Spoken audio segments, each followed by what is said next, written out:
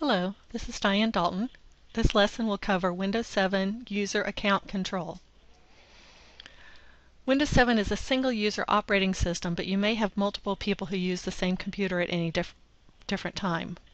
You would be wise to create a separate user account for each person who uses that computer. That way each user has their own folders and files and they can each personalize their desktop. That also prevents people from seeing each other's files or folders or doing damage in that folder area. To create a user account, first of all, you must have the administrator rights to create a new user. Um, typically the first person who registers the computer is the administrator by default. So on the control panel, click in the User Accounts and Family Safety group on the control panel. From there you will see a link that says Add or Remove User Accounts. So click there. Um, you'll see several options then in the following screen, including Create New User. Um, note below that there's also something called Set Up Parental Controls. We'll come back to that later. There's two different types of users. Um, a standard user is someone that can use the computer, can run the software, but you can't change any other user's files. You also can't change any of the security settings whereas the administrator has complete access to the computer. They can make changes that affect the other users, the standard users, and again, that first user is by default um, an administrator. So to create the new account, um, you've clicked on create an account, you have to give it a name, you have to select which type. You can see the two choices, standard user or administrator. Click the create an account, and then you see that the new account has been created. Now to personalize it a bit, you can select a different icon for each user from the gallery of choices that comes with Windows 7, or you could of course browse and pick your own image. Um, a administrative person can manage anybody else's account.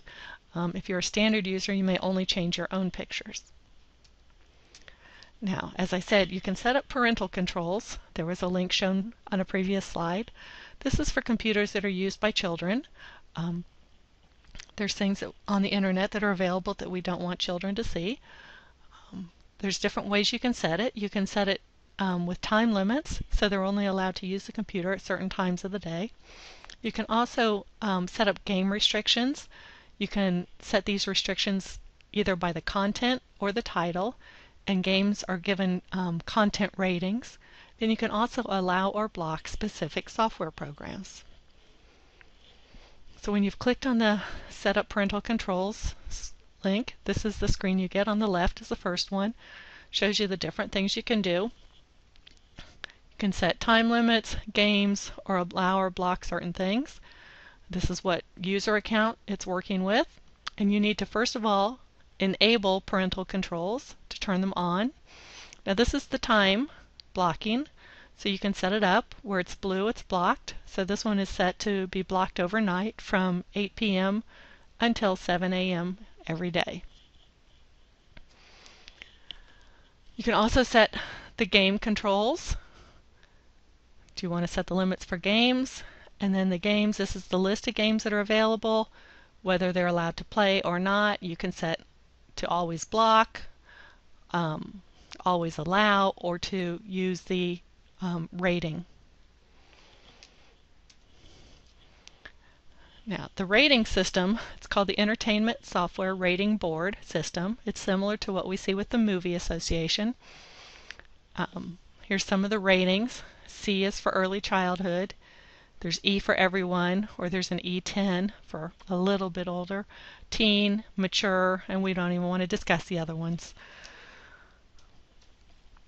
Now, speaking of teens, um, you might need to use disk space quotas. Um, if it's a family shared computer, um, I shouldn't just blame teens, but some people have a tendency to hog disk space. So you can set limits on how much any one person or any one user account may consume of the disk space. So you can get to this disk's properties by right-clicking on the disk and selecting properties. And this shows you your full disk capacity and the pink area is what's still available. To set quotas, you go to the Quota tab.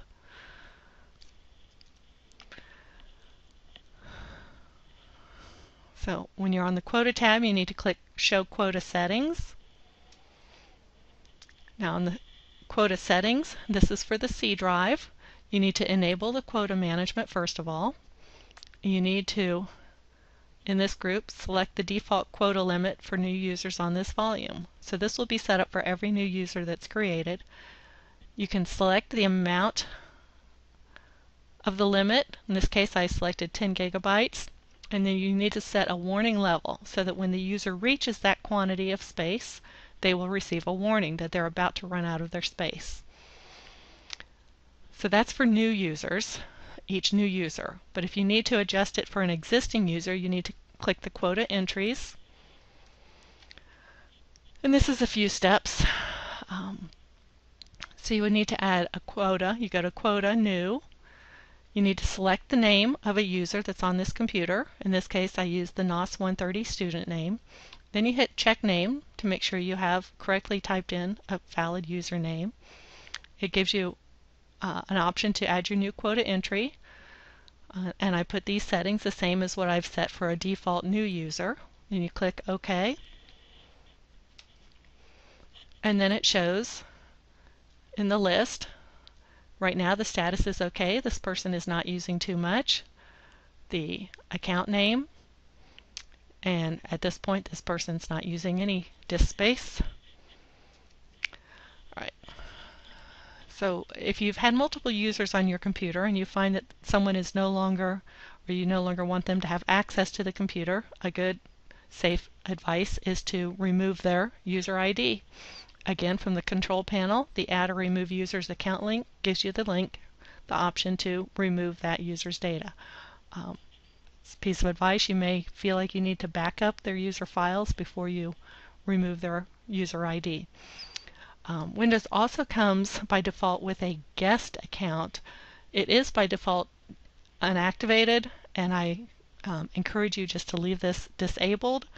Um, it's well known that there is a guest account, so it could be a security hole if someone were to able to try and log into your computer using that guest account. So good advice is just to keep that disabled unless you had a really good need, need to use it. Now, setting up file and folder permissions. This is what allows other people to look in your files. Um, the Windows NTFS file system allows each folder to have its own set of permissions. You can get this through the access control list. Um, the different ways of setting permissions is to allow full control, the ability to modify, to read and execute, to list just the folder contents, or to read or to write. So these are six different ways you can give control. Clearly somebody with full control can do all of these. Um, read and execute means someone could be able to browse through the file and they could execute a program that's there. Um,